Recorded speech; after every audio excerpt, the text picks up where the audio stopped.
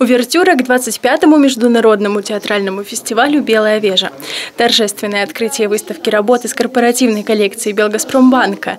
Оригинальные работы белорусов, которые завоевали признание за рубежом, разместились на третьем этаже банка. В рамках этого фестиваля поступило предложение от Белгазпромбанка э, провести вот это мероприятие, такой театрально-выставочный проект э, с уклоном на театральную тематику. Мы, естественно, поддержали, потому что у нас есть опыт работы с Белкоспромбанком.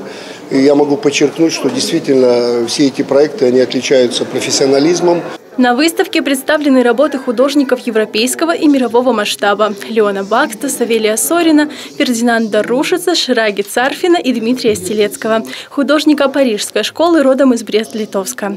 Все картины оригинальны и привезены из-за границы. Особое внимание уникальной возвращенной работе Стелецкого «Княжна» 1923 года написания, которую впервые представили в Беларуси.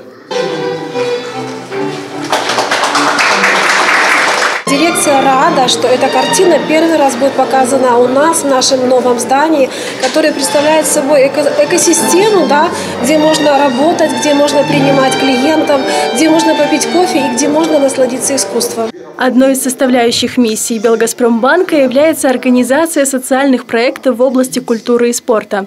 Потому выставка «Путь к сцене» приурочена не только к 25-му международному фестивалю «Белая вежа», но и ко Дню народного единства.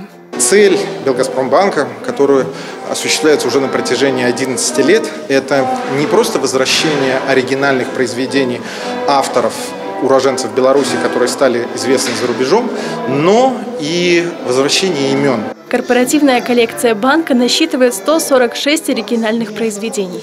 На выставке в Бресте 8 картин и диптих на тему театра. Работы такого масштаба не часто увидишь в Бресте, а потому доступ к ним до 10 октября будут иметь все желающие.